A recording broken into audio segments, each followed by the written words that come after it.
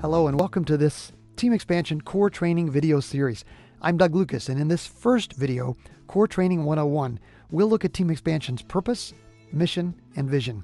First, Team Expansion's purpose. Our purpose is multiplying disciples and churches among the unreached.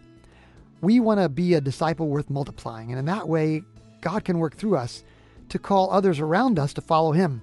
And then they can start spreading the good news to their friends and family as well and help in the advancement of His kingdom.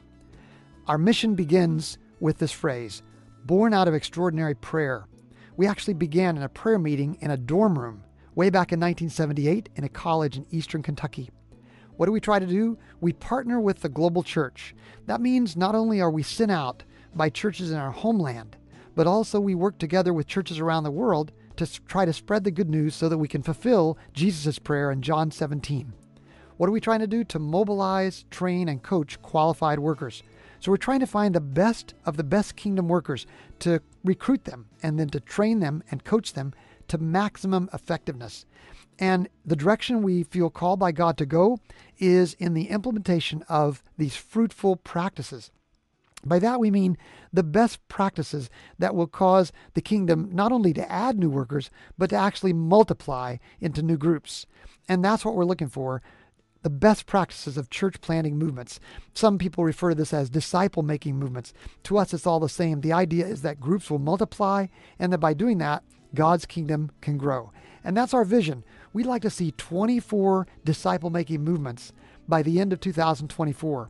And what we mean by a disciple making movement is that there would be four streams that would go at least four generations deep by the end of that year in 24 different places.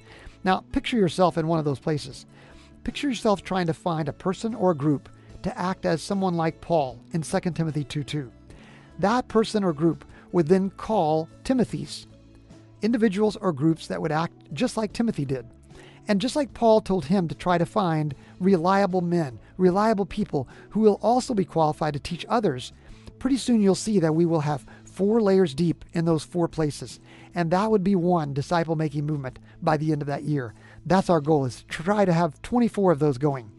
That's our goal in team expansion. We hope you'll join us either through prayer, partnership, joining us maybe, and going with us, or by sending us. Find out more on the web at www.teamexpansion.org. Thanks for listening.